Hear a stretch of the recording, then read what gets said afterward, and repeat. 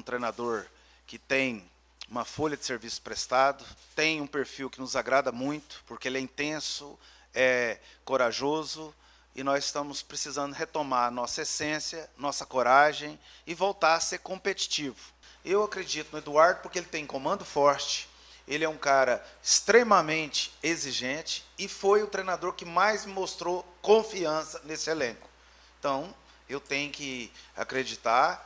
Foi assim que o presidente Adson Batista apresentou e justificou a contratação de Eduardo Batista, treinador de 50 anos que chega para comandar o Atlético na sequência da temporada.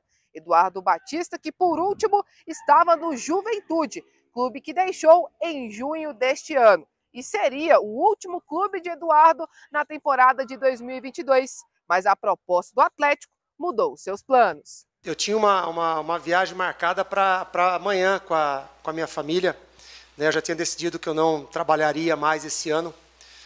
Né? Mas quando o Watson me ligou, né? o Atlético sempre, sempre chamou a minha atenção, porque muito do que eu penso de, de futebol, né? o Atlético Goianiense oferece. Né? Filosofia, estrutura, né? um time competitivo.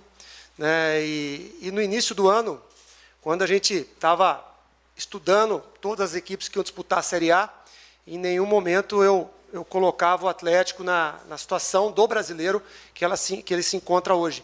Né? Então, eu acredito muito nisso daqui, uh, agregando ainda a oportunidade de um título internacional, né? de você disputar uma semifinal com o São Paulo, né? com chances iguais aí de passar para uma final e conseguir um título. Eduardo Batista já comandou o treino no Atlético na tarde desta segunda-feira, até porque sua estreia no Dragão será quinta-feira contra o São Paulo pela Copa Sul-Americana. Pouco tempo de trabalho para o novo treinador, que além da Sul-Americana, terá de buscar uma reação para evitar o rebaixamento no Campeonato Brasileiro. Apesar do pouco tempo, ele já sabe o que tem que mudar na equipe atleticana taticamente algumas coisas pontuais, né, algumas coisas que a gente tem que, tem que fazer. Mas principalmente, né, o que nós conversamos dentro do vestiário, a mudança de atitude. Né, você aumentar a intensidade, você ser mais, mais aguerrido, né, você incomodar mais o, o adversário.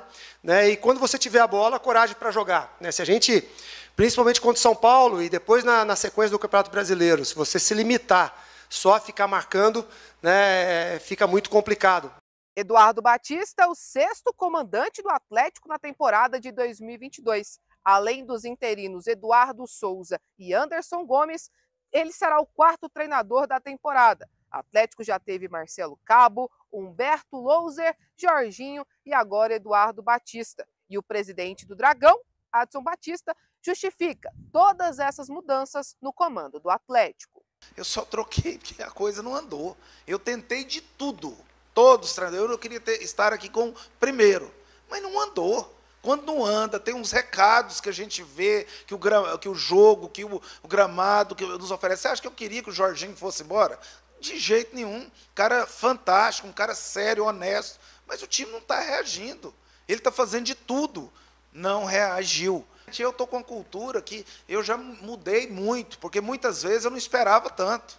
Talvez eu tinha que mudar lá atrás.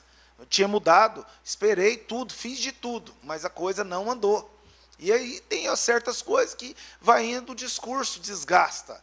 Então você precisa tomar a decisão e eu tomei com a consciência tranquila. Além de Eduardo Batista, Eduardo Souza também foi contratado pelo Atlético. Ele retorna ao Dragão após uma passagem na Aparecidense para ser novamente auxiliar técnico da comissão permanente do clube. O Eduardo auxiliar, ele é um cara que é a cara do Atlético, conhece todos os jogadores, vai contribuir muito. Ele é um auxiliar contundente, que tem voz ativa, que tem opinião, para trazer o debate. O contra.